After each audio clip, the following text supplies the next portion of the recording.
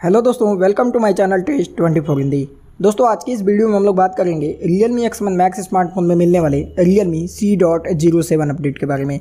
दोस्तों, आपको अच्छे से पता होगा कि जब से Realme X max users को Realme C dot zero seven का अपडेट दिया गया है, उसके बाद से उनका स्मार्टफ़ोन काफ़ी ज़्यादा लैग कर रहा है और उन्हें काफ़ी सारे बग्स देखने को मिले हैं। ऐसे में मुझे अपडेट किए हुए एक मंथ हो चुका है तो आज की इस वीडियो में हम हॉनेस्ट रिव्यू आपके साथ शेयर करने वाले हैं। कि आपको ये अपडेट करना चाहिए या फिर नहीं करना चाहिए और इस अपडेट में आपको क्या क्या नए फीचर्स देखने को मिलते हैं और क्या कुछ बक्स देखने को मिल जाते हैं। तो अगर आप भी ये जानना चाहते हैं तो वीडियो को बिना स्किप किए ध्यान से देखते रहिएगा।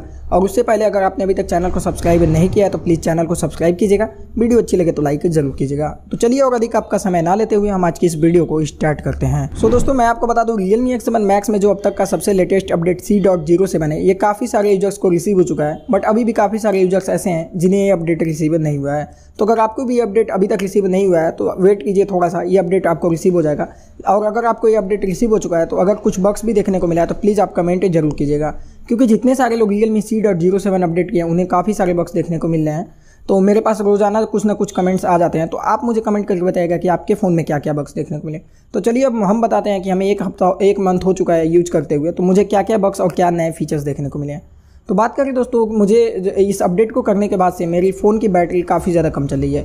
बैटरी वाली प्रॉब्लम मुझे C dot zero seven update में काफ़ी ज़्यादा देखने को मिली है और स्मार्टफ़ोन हल्का फुल्का हीट भी हो रहा है। पहले उतना हीट नहीं होता था, बट गर्मी की वजह से भी हो सकता है, लेकिन इस अपडेट के बाद से मेरा फ़ोन कुछ ज़्यादा हीट हो रहा है। और बात करें दोस्तों, इसके बैटरी लाइफ की तो बैटरी लाइफ अब पहले जितना नहीं चल रही है। और उसके बाद से अगर बात करें कि चार्जिंग स्पीड तो चार्जिंग स्पीड हल्का सा स्लो हो चुका है इस अपडेट के बाद से। उसके बाद बात करें, जो सबसे बड़ी प्रॉब्लम मुझे देखने को मिली है, वो है इसका स्किन काफ़ी ज़्यादा लग कर रहा है। जी हाँ दोस्तों अपडेट के पहले या स्क्रीन लैग नहीं करता था, बिल्कुल स्मूथली वर्क करता था।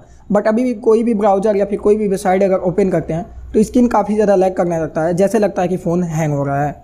उसके बाद बात करें दोस्तों तो इसका फिंगरप्रिंट अच्छे से वर्क नहीं करता है। कई बार फिंगरप्रिंट कैच कर लेता है बट मैक्सिमम चांस ऐसा होता है कि आपका फिंगरप्रिंट कैच नहीं करेगा। आपको फिर से फिंगरप्रिंट लॉक स्क्रीन करके लगाना पड़ेगा। तो फिंगरप्रिंट भी अच्छे से वर्क नहीं करता इस अपडेट के बाद से और काफ़ी ज़्यादा स्लो हो चुका है फिंगरप्रिंट जो कि पहले अच्छे से वर्क करता था।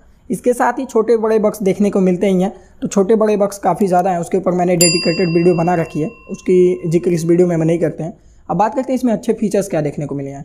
हालाँकि दोस्तों, आपको पता होगा Realme two point zero से Realme three point zero में कुछ ज़्यादा ही नए फीचर्स देखने को नहीं मिले हैं। तो बात करें तो वही दोस्तों आपको लॉक स्क्रीन पे कुछ ऑलवेज ऑन डिस्प्ले में कुछ नए फीचर्स ऐड कर दिए गए हैं। हालाँकि एक स्पेशल फीचर्स नाम से एक फ़ंक्शन ऐड किया गया, उसमें कुछ फीचर्स क्विक एक्सेस ऐसे कुछ फीचर्स हालाँकि ये पहले भी थे, ऐसे कुछ फीचर्स ऐड किया गया, कुछ खास फीचर्स इसमें मुझे देखने को नहीं मिला है।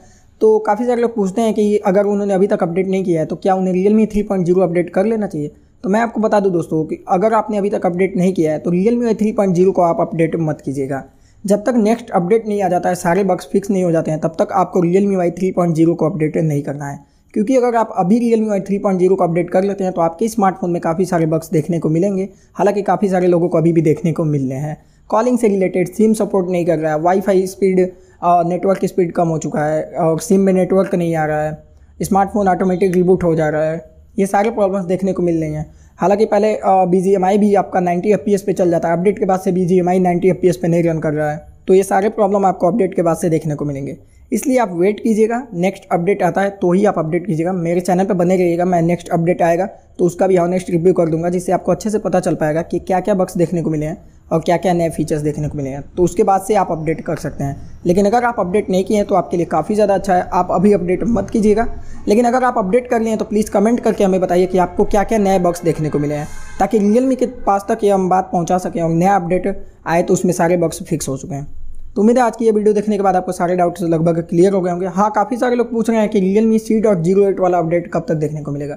तो दोस्तों, मैं आपको बता दूँ, ये अपडेट रोल आउट हुआ था, कुछ लोगों को रिसीव हुआ था बट अभी फिर से ये अपडेट शायद किसी को रिसीव नहीं हो रहा है। अब रियल मी पता नहीं क्यों नहीं अपडेट दे रहा है। रियल मी शायद एक दो मंथ आप वेट कीजिए आपको रियल मी की तरफ़ से कोई अपडेट मिलेगा। हालाँकि मैंने ट्वीट भी किया था रियल मी के ट्विटर अकाउंट पर पर मुझे अभी को, कोई रिप्लाई उनकी तरफ़ से देखने को नहीं मिला है। तो जैसे मुझे कुछ रिप्लाई देखने को मिलता है मैं इसके ऊपर भी वीडियो बना के आपको बता दूँगा। उसके लिए आप चैनल को सब्सक्राइब कर लीजिए। तो आज की इस वीडियो में बस एक छोटी सी जानकारी शेयर करनी थी। उम्मीद है वीडियो पसंद आई होगी। वीडियो पसंद आई है तो लाइक कीजिएगा।